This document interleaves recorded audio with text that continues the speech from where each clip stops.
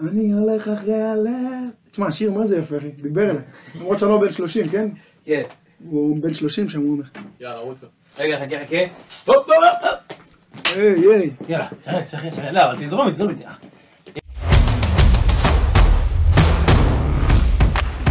לא תכניס את זה, כן? כל מה שאני מדבר אתה לא. לא, הכל טוב. תכניס. לי שזה נהיה ענייני. יהיה אולי כל מיני טקים כאלה בקטנה. שום טקים ושום קטנה. כן, מי אתה? אני יאנה, A.K.A. יאנה, לא, זה לא טוב. אני ישר- יאנה, עושה מוזיקה, כן. זהו, יפה, יפי. הלאה. אתה עורך את זה? אה, יסתדר טוב, גם נעשה את זה, אתה לא יודע, זה יהיה מצחיק, זה יהיה טוב. הכל בסדר, תהיה אותנטי, תהיה אתה. אז אוקיי, אז מה עכשיו העניינים? מה אתה- כן, מי אתה? אני יאני ולמנך, A.K.A. יאנה. אה, למה אתה פה על המסך? כי אני הולך להופיע ברוקי שואו ב-26 לשני, בלבונטין 7. תגיעו. מאיפה אתה בארץ? אני משכונת י"א באר שבע. רפרזנט.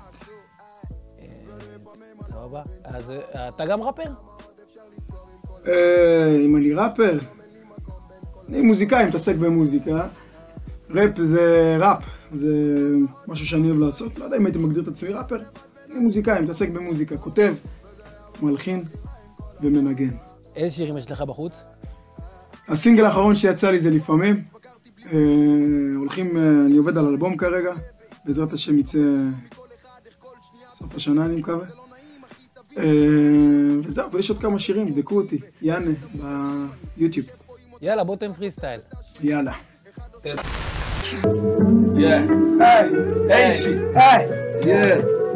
היי, ואני בא לבד, אני לא נבדק בכמה אין לי. אני לא נחמד לעד, אחי, זה את שחק בי ואין לי כוח, אני לא רוצה למתוח. מעדיף לשכוח את כל הצרות והצרים, ממליץ לברוח.